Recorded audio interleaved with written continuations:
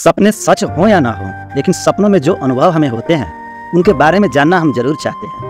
आज इंटरनेट के दौर में आँख खुलते ही लोग गूगल पर रात को देखे गए सपने का अर्थ ढूँढने लगते हैं। यानी सपनों को लेकर जिज्ञासा हर किसी के मन में है। ऐसे में आज हम आपको बताएँगे कि अगर आप कभी सपने में खुद की शादी देखते हैं, या शादी से जुड़ा कोई और सपना देखते हैं तो असल ज़िंदगी में इसका क्या अर्थ लगाया जा सकता है? तो चलिए सबसे पहले बात करते हैं सपने में बारात का दिखना।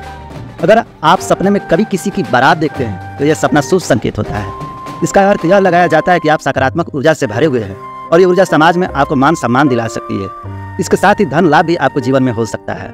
दूसरा, सपने में किसी स्त्री को शादी के जोड़े में देखना। वही, अगर आप सपने में किसी स्त्री को शादी के जोड़े में देख लेते हैं तो समझ जाइए कुछ अच्छा जीवन में होने वाला है। अगर किसी वजह से परेशान थे तो वो परेशानी दूर हो सकती है और आप भविष्य में लाभ पा सकते हैं। तीसरा, सपने में खुद की शादी देखने का अर्थ क्या होता है? सपना शास्त्र की माने तो सपने में खुद की शादी होते हुए देखना बहुत अच्छा सपना नहीं माना जाता है। यह सपना आपके जीवन में चुनौतियाँ ला सकता है। आप जिस भी क्षेत्र में कार्य कर रहे हैं, वहाँ आपके मान सम्मान में कमी आ सकती है। वही आप शादीशुदा हो और आपको दूसरी शादी का सपना आ जाए तो यह सपना दर्शाता है कि वैवाहिक जीवन में आपको दिक्कतों का सामना करना पड़ सकता है। आप अपने रिश्ते से असंतुष्ट हो सकते हैं। ऐसा सपना आने के बाद आपको थोड़ा सावधान हो जाना चाहिए और जीवन में संतुलन लाने के लिए खुले दिमाग से सोचना चाहिए। अगला, सपने में किसी रिश्तेदार की शादी देखना। अगर आप किसी रिश्तेदार की शादी होते सपने में देखते हैं तो यह सपना आपके आत्मविश्वास को बढ़ाने वाला साबित हो सकता है। यह सपना आने के बाद आप भविष्य को लेकर सही योजनाएँ बनाते हुए देखे जा सकते हैं। अगला हम लोग बात करते हैं सपने में खुद को नाचते हुए देखना।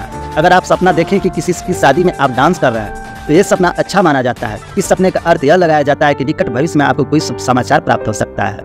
अगला बात करते हैं सपने में शादी का टूटता हुआ देखना। अगर आप सपने में किसी की शादी या फिर अपनी शादी टूटते हुए देखते हैं तो यह सपना अच्छा नहीं माना जाता है।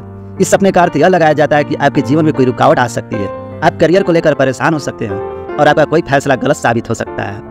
नेक्स्ट हम लोग बात करते हैं सपने में खुद को शादी के जोड़े में देखना। अगर आप सपने में खुद को शादी के जोड़े में देखते हैं तो यह सपना शुभ माना जाता है। इस सपने का अर्थ यह लगाया जाता है कि दाम्पत्य जीवन में आपको खुशियाँ मिलने वाली है।